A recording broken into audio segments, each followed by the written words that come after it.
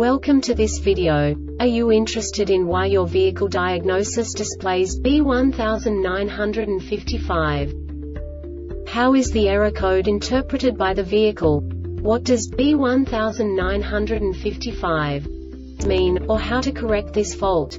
Today we will find answers to these questions together. Let's do this. First, let's look at the history of diagnostic fault code composition according to the OBD2 protocol, which is unified for all automakers since 2000. We divide the electric system of automobile into the four basic units. Powertrain, body, chassis, network. This distribution is defined in the first character code. If the second character is expressed as zero, it is a standardized error. In the case of numbers 1, 2, 3 it is a more prestigious expression of the car-specific error. The third character specifies a subset of errors.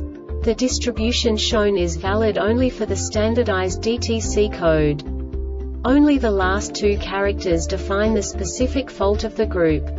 Let's not forget that such a division is valid only if the other character code is expressed by the number 0. Our website airbagreset.sk produces useful videos for you. You do not have to go through the OBD2 protocol anymore to know how to troubleshoot any car breakdown. You will find all the diagnostic codes that can be diagnosed in a Jeep vehicles. Also many other useful things. The following demonstration will help you look into the world of software for car control units.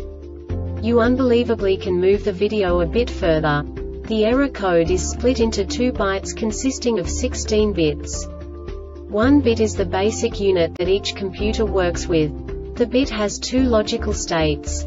0, low level, 1, high level. By combining the first two bits, the basic character of the error code is expressed. The next two bits again determine the second character.